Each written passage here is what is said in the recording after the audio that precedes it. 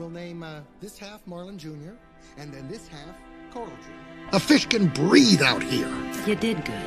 And the neighborhood is awesome.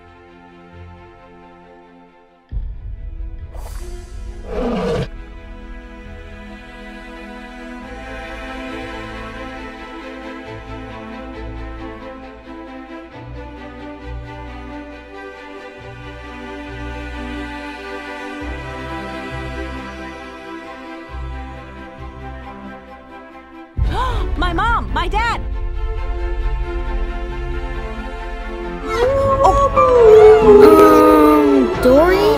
I don't think that's a normal whale. It's a killer whale!